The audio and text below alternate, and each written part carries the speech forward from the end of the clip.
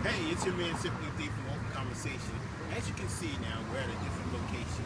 We're actually at the location where the film is going to be on stage or shown. Yes. Okay, so that's where we are, up on Chestnut Hill on Germantown Avenue. And again, I'm here with Miss Deeva from Deeva Entertainment, and she's going to continue to tell us about this project where we left off. So, you remember where we left off at? Oh, yes, I remember. Well, this project, as I was saying everybody, is it's about cancer. Uh, it's not a documentary. It's about bringing awareness and treatment in a different way that people can receive it, uh, so that they're not, they don't feel like they're being chastised or given some kind of infomercial.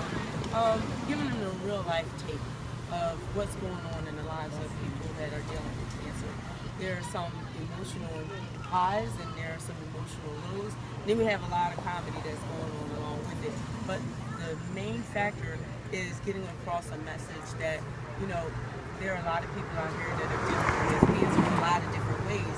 And they put forth these different faces that everything is okay, everything is all right. But in actuality, they're dealing with things on the back end. So that's why I call it the faces of life because they're dealing with a lot of different things. But they put their faces So when is the film going so we can start walking? We get told by the police we can start walking. Um, so when is this going to be held here? At the Stagecrafters Theater? Okay, well, it's going to be held Tuesday, June 16th at 7 p.m. sharp.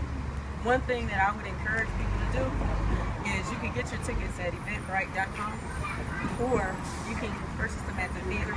But I can tell you that capacity is running a little short, so you might want to make sure that you get your ticket. But it's at 7 o'clock Tuesday, June 16th at the Stagecrafters Theater. And for the slow people who missed it, give them that information again. It's at Stagecrafters on the 8100 of Germantown Avenue. And you can purchase your ticket at eventbrite.com. It's $6.27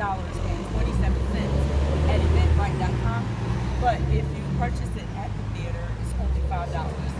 So I would encourage people to actually go to eventbrite.com because seats are limited. You may not get a seat if you wait to get it at the Five dollars.